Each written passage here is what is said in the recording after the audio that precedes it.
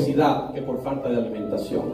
Son mucho más los que mueren por diabetes que por epidemia. Y son mucho más los que mueren por suicidio que por violencia.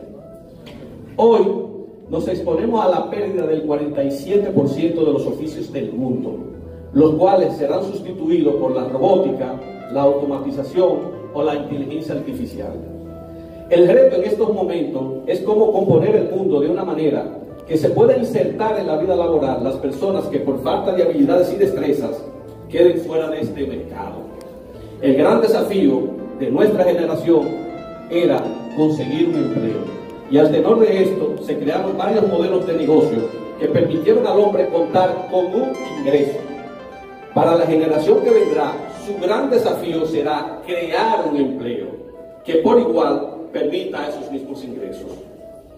El reto de los empresarios y de los gobiernos es conciliar con el desarrollo que presentan las nuevas tecnologías ante una, humanidad amenazada de quedarse sin ingresos para satisfacer sus necesidades, sin que caiga el consumo mundial. En ese mundo de cambio, las empresas se verán en la obligación de desarrollar ideas innovadoras que le permita enfrentar los retos de la inventiva humana, ya que el comercio dejará de ser un simple intercambio de bienes y servicios y se centrará en la inventiva mediante el desarrollo de patentes e ideas que produzcan nuevos productos, servicios y modelos de negocio. En poco tiempo, las tiendas que ocupan hoy la calle del Sol se convertirán en grandes centros de impresiones 3D permitiendo a sus clientes sacar una impresión de su prenda de vestir o de su marca favorita. El ejemplo lo vemos en la construcción, de forma tal que un juego de molde y un camión de hormigón ha sustituido cientos de mano de obra y tiempo. Hoy hay sistemas que te construyen una casa en 24 horas. Y si nos vamos a los abogados, médicos o chefs, vemos cómo cada día sus habilidades son sustituidas por grandes centros de datos capaces de procesar grandes cantidades de informaciones y en la mayoría de los casos se ha demostrado que suelen ser más precisas. En Israel, los jueces de tránsito son ordenadores que dictan decisiones y establecen jurisprudencia.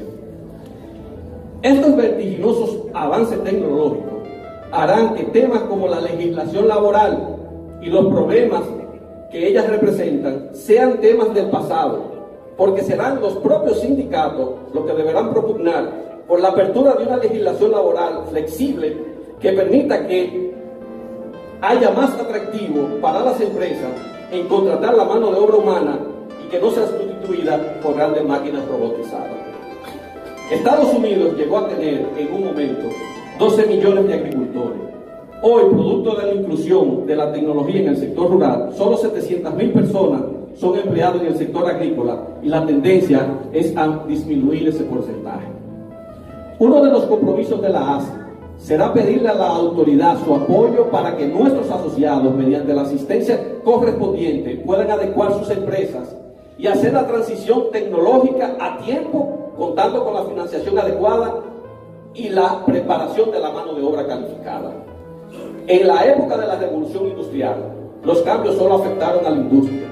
En cambio, en esta oportunidad, no solo la industria se verá afectada, sino también la empresa del sector económico.